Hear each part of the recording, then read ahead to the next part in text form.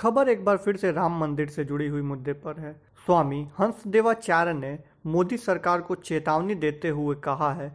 ये हम आपको इस वीडियो में बताने वाले हैं और आप देख रहे हैं रेवेलियन वॉइस डॉट कॉम तो आइए जानते हैं ये पूरा मामला क्या है। संत समाज के सम्मेलन में स्वामी हंसदेवाचार्य महाराज ने एक बयान दिया है। उन्होंने कहा, अगर मोदी सरकार राम मंदिर निर्माण पर कोई फैसला नहीं करती है, तब तक वे सरकार को अपनी कुर्सी से उठने नहीं देंगे।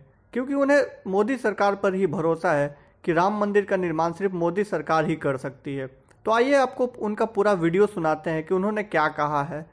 भैया जी ने कहा यह आंदोलन चलेगा और मैं भी कहता हूँ, आंदोलन चलेगा। संघ भी कहता है और संत भी कहता है आंदोलन चलेगा। नहीं रुकेगा ये कारवां। फिर क्या करेंगे?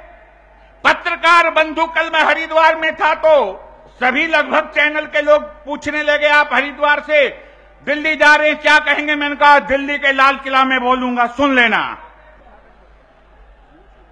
क्या करेंगे? सुनना चाहते हो? अगर सरकार सेशन के, अब तो अध्यादेश आ नहीं सकता, क्योंकि सेशन प्रारंभ है परसों से। अगर इसके बाद सरकार सत्र विराम के बाद अध्यादेश नहीं लाती तो दिल्ली नहीं। अब प्रयाग की धरती पर 31 जनवरी और 1 फरवरी को फिर इकट्ठा होंगे। योगी जी को धन्यवाद दूँगा। मुगल सराय दीनदयाल हो गए। इलाहाबाद प्रयाग हो गया। बाकी दल नेस्त नाबूद हो गया। एक संकल्प और मन में आता है। इस सरकार ने घोषणा की थी। हमारी प्राथमिकता है राम मंदिर का निर्माण। भारतीय जनता पार्टी का पालनपुर का अधिवेशन, जहाँ उन्होंने कहा गया था, हम राम मंदिर का निर्माण करेंगे। मैं कहना चाहता हूँ, अगर किसी व्यक्ति से कर्जा लेना हो तो उसको छोड़ देना चाहिए। छोड़ देना चाहिए। तो हमने मोदी से कर्जा लेना है।